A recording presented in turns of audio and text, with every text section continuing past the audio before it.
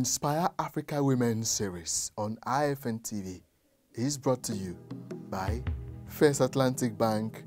Oh, I thought you submitted it. So what about this? No, no, this one is not. This one is not. Francesca Oteng Mensah took the headlines in Africa in 2016 when she became Ghana's youngest member of parliament and indeed one of the youngest politicians on the African continent, defeating a leading incumbent member of parliament in her party's primaries and then going into the main election to defeat the ruling party's candidate under the New Patriotic Party. Then a law student at the University of Ghana, Legon, now 24, Honorable Francesca Oteng Mensah spoke to IFN TV on what the journey has been like so far since she was elected into power, her challenges, and her success since being voted into power to represent the people of Kwabre East constituency, the Ashanti region of Ghana. My name is Francesca Oteng-Mensah, MP for Kwabre East.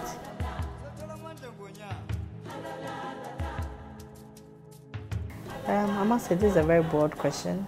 Why I decided to go into politics. I believe politics is an opportunity where you can help a lot of people because you get a, a lot of opportunities from um, NGOs, from government institutions, from international organizations, and the rest. So I believe politics gives me the platform to help more people. And as a person, I've always had the interest to help a lot of people because of probably from my family background or from the fact that I'm into a lot of philanthropic works. So this is a great opportunity for me. And secondly, I think I have a passion for it. Since childhood, I've always wanted to be a politician. And I believe I'm living my dream.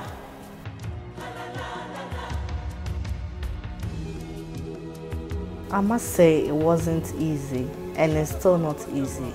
Um, looking at the fact that I'm a woman and of a young age, which is of course it's also an issue.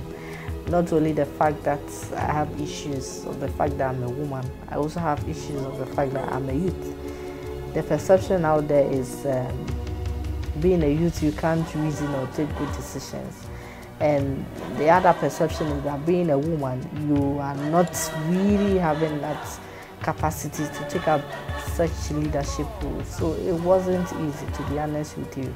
But I think one thing that helped me was the fact that I was always determined to achieve my dream because I always had a passion to do politics.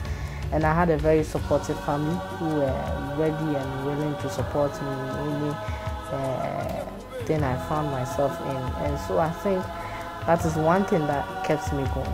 If not that, the political life or the political uh, job, let me put it that way, is not an easy task for a woman, especially in Africa. You need a lot of things. You need resources. And I mean, how many women have the, the resources, enough resources to go into politics?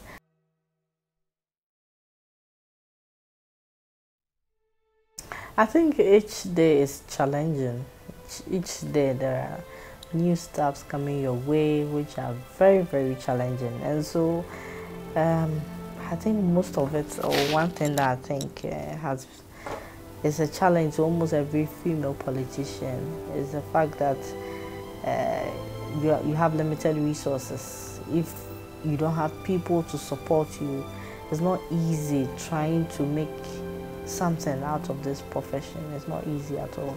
And the fact that uh, people always have their doubts that once you're a woman, probably you went to sleep with someone to get to where you are and all those things. I think basically those are challenging times. And the fact that uh, because you are, you are young or you are youth, some people think what you're saying doesn't make sense. But after they listen to you for a while, and they start to realize, yes, this person is trying to talk some sense. I think basically it's, it's always difficult getting people's attention, um, especially when you're putting across an idea, something which is so different from the usual things that people do. It, it takes time before people get to understand you.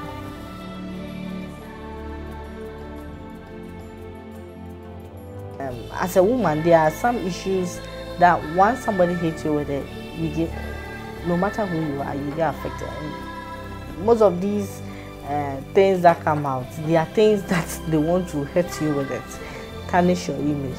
This is an image you've used so many years or you've made so much effort to build. If something is to pierce into it a little, even look at the skin. If somebody just take a small needle and pierce your, your, your hand, the pains that you receive when they pierce in your head is the same thing.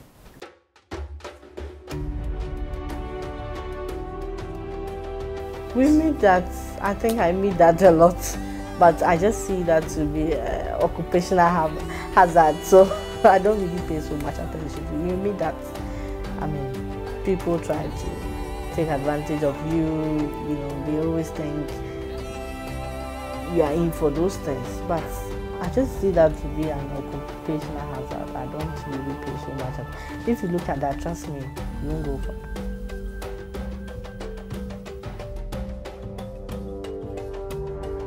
Well, it will, it will not be easy. I'll, I think I'll take this opportunity and, and commend uh, former first, oh, yes, former first lady Nana Konadu Agyeman-Rawlings, which I think you can see her picture there. I took an award and she was the one who presented the award. She's one of my mentors, a very great woman. It's not easy, like I said, in Africa as a woman taking up leadership roles. It's likely that we can have I mean, um, a president in Ghana. If Liberia has been able to do it, why can't we also do it in Ghana? So it's it's not going to be easy. It's not going to be, to be honest with you, it's not going to be easy. But I'm hoping that uh, very soon we get any of our beautiful ladies in parliament or our beautiful political women to take up this this idea. Looking at me, 24. Uh, and the constitution allows you to contest at um, presidency at the age of 40. I think I still have a lot of years. So.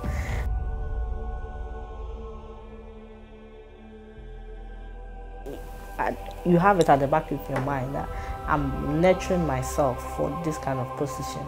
And um, I think I'm still looking around to see how best, uh, I mean, you need to weigh your chances and all those things. But definitely, what I want is I want to make a contribution to the development of the country. So if at a point in time Ghanaians or people think I should go higher, I'm sure they will start making that, that cry.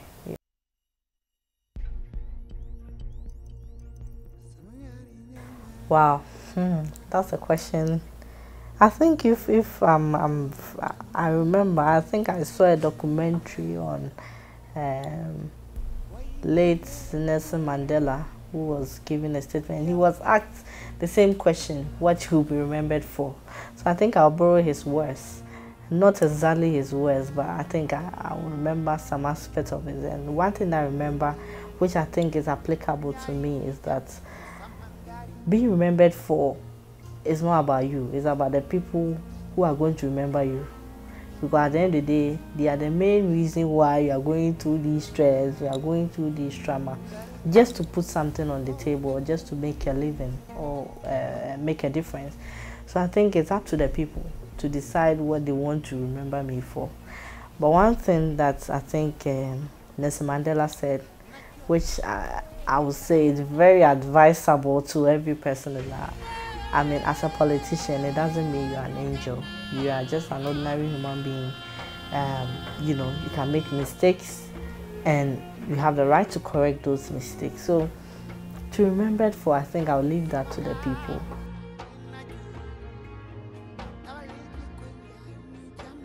I think first of all, there's no there's no formula in being a politician.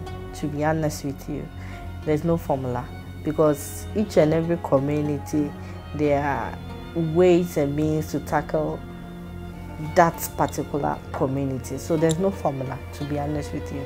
The only thing the only advice that i'll give to my my young ladies or my young women who also want to go into politics is that they should have a tough skin and they should be ready to take in anything. I always say that if you're a politician you are more or less like a refuse dump anybody at all can just come and dump their refuse just as when you go to the refuse site where I mean, once it's waste, I'm coming to dump it there, and that is politics for you. People can say all kinds of things about you on radio, write articles about you in the newspaper, and I mean, they have no no reason for doing that. They just tarnish your image just like that. So you should have a tough skin, and you should be ready to to overcome any of these challenges.